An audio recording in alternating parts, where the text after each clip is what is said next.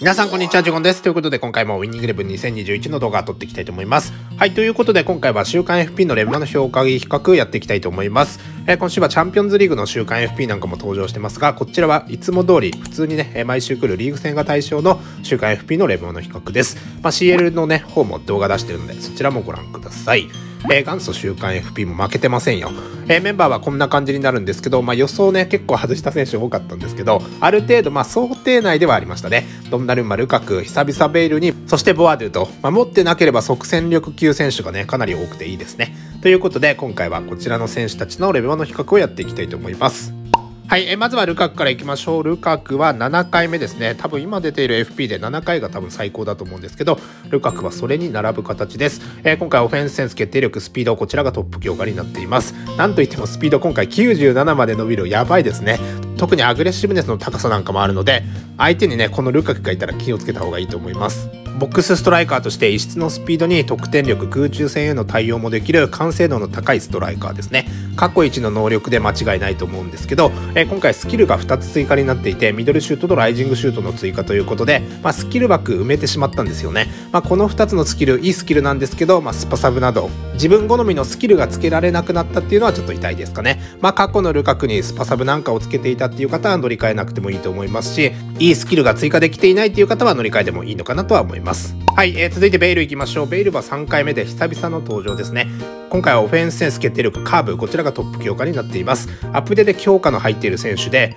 得点力もアップしてオフェンスセンスが90乗せてきますね。ドリブル周りは相変わらず高く得点力セットプレースピードが魅力のウィングストライカーですね、まあ、スタミナ82あとはボディコンが72とここが低いのでここは気をつけて使いたいところです、えー、今回から逆足23になりました。11だったのでここはね大きな変更入ってますね、えー、スキルで言うとシュート系中心に10個ついています。ワンタッチ系がないのは残念なんですけどまあ、サイドでの起用なんかもありなんですけど CF 起用ここも結構ハマるんじゃないかなと思うのでぜひ試してみてください。特にサイドがない監督を使っているって方は CF で起用してみるといいと思います。まあライブアップデートが良ければいいんですけど、まあ、怪我にはね気をつけてほしい選手の一人ですね。過去のものと比べると能力逆足を見る限りこれは乗り換え安定ですね。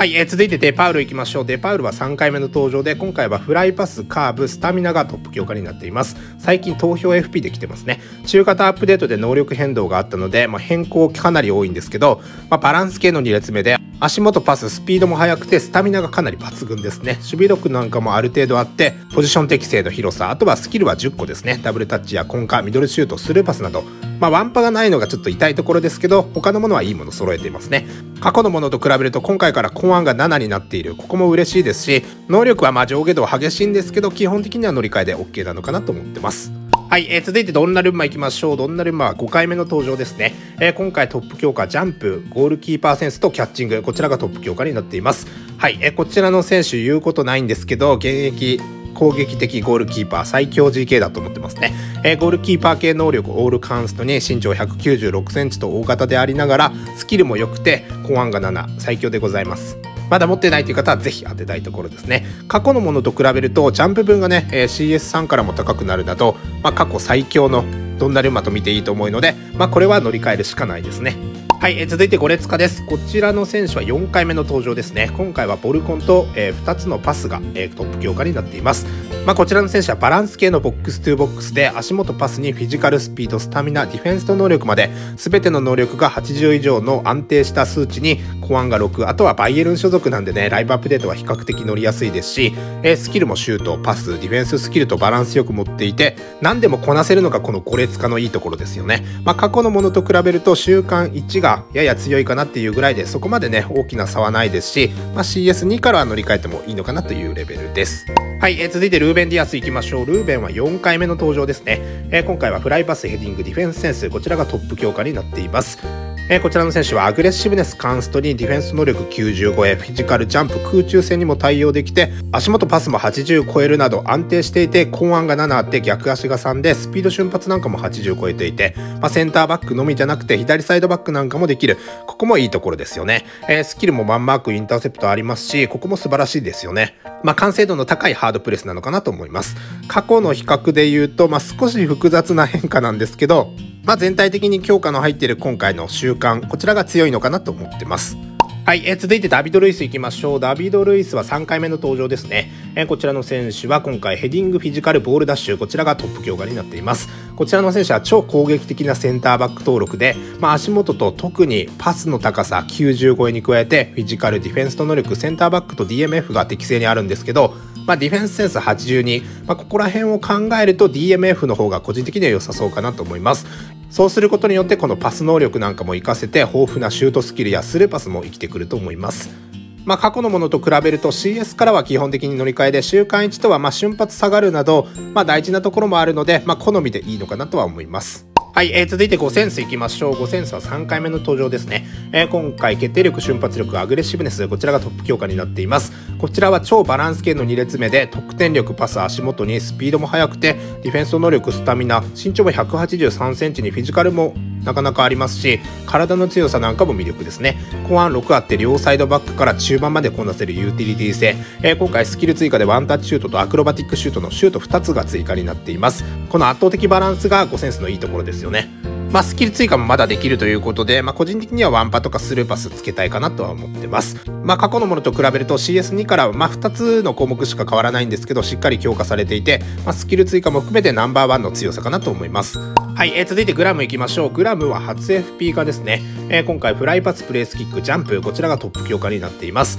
えー、能力見ると90超えのね、能力ないサイドバックということで、まあ、フライパス、キック力、スピード、ジャンプなど、まあ、どちらかというと攻撃的なサイドバックですね。まあ、気になるのはスタミナが85ということで、サイドバックとしては少し低めになっているので、しかも攻撃的サイドバック持ちということで、スタミナ管理はちょっと難しそうですね。身長186センチと、サイドバックとしてはね、高さなんかもある。そこは魅力になりそうです。ただ全体的にもう少し能力は欲しいので、まあ、マッチデーだとかオンチャレ用として考えてもいいのかなと思います。えー、今回スキルにインターセプト、こちらが追加になっていて、これは嬉しい追加になりましたね。まだまだ追加できる枠残しているので、まあ、闘争心なんかつけておくと、スタミナ不足、ここは少し緩和されるかもしれません。はい、えー、続いてボワード行きましょう。ボワード待望のね、2度目の登場ですね。えー、今回決定力、スピード、キック力、こちらがトップ強化になっています。こちらの選手は高い得点力、スピードに加えて、特に今回スピードがね、カンストになりますね。足元パスのレベルも高くてフィジカルも強め。先週 A だったので前回版のね方を使っていたんですけどルーメニゲムバッペなどこの似たようなタイプにも負けないぐらいね活躍してくれましたし持ってないという方は当ててほしいですね、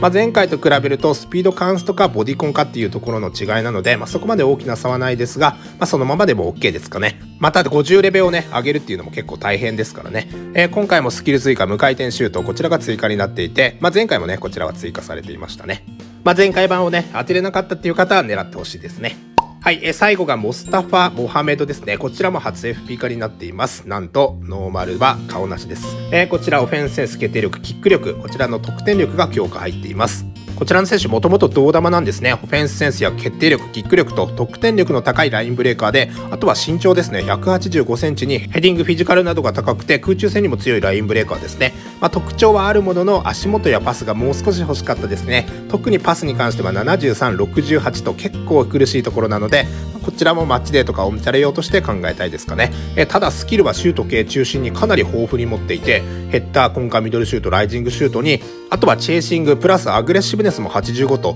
まあ、前線からのね、守備で助けてくれるような選手なのかなというところです。まあ来週 e フットボールリーグありますけど、ガラタサライを選ぶ方あんまりいないかもしれませんが、選ぶっていう方はこのモハメド、そこでの活躍期待できるんじゃないかなと思います。はい、ということで今回は週刊 FP のレバーの紹介比較やってきました。いかがだったでしょうか？まあ、被りは多かったんですけど、ルカク、ベイル、ルーベン、ゴレツカ、ドンナルンマ、まあ、この辺り持っていないという方は当てておきたいですし、まあ、特にボアドゥですね、もう来るか来ないかわからない選手だと思うので、まあ、ぜひここは狙っておきたいですし、しっかりここで当てておきたいですよね。チャンピオンズリーグの週間 FP なんかもあるので、そちらも比較して、コインに余裕がないという方は、持っていない選手が多い方をね、引くといいのかなと思います。まあ、フラットで考えるのであれば、こちらの習慣の方がおすすめかなと個人的には思ってますね。こちらのチャンネルではこのような週刊 FP のレムマの紹介だったりとか、あとはアイコニックの予想、アイコニックの比較なんかもやってるので、チャンネル登録まだの方は良ければチャンネル登録、そして高評価よろしくお願いいたします。ということで、今回の動画はここまでです。ご視聴ありがとうございました。